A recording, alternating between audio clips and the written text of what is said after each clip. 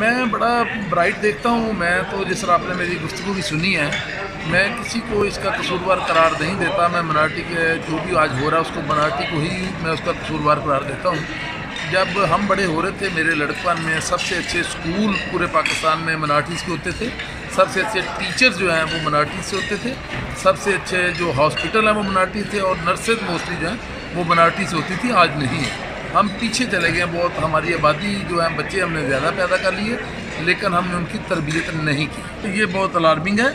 आप देखेंगे जिस तरह एक्सट्रीमिज़म तमाम मज़ाहब में बढ़ता जा रहा है। और वो जो एक पुराना था कि लोग थोड़ा सा लिबरल हो रहे थे, ये जो जब से तालिबान पाकिस्तान में आए, उनकी सरगर्मियाँ देख के लोग जो है ना, हमारा ऐसा कल्चर है कि लोग जिसके पास बंदूक है, उसकी तरफ़ अट्रैक्ट करते हैं। ये अभी, ये फिर टीएलपी वाले लोगों को अट्रैक्ट कर रहे हैं। इससे पहले से छोटी छोटी लश्कर तैयबा ये वो उन पर खात्मे हुए। हमने तो वो दिन देखे हैं कि जो जहाद के लिए बाकायदा कैंप लग के लोग भर्ती होकर जाते थे। अब तो शुक्र है खुफिया जा रहे हैं। ये बड़ा साल मियाँ माशरे में चेंज को एजुकेशन ही लेके आएगी।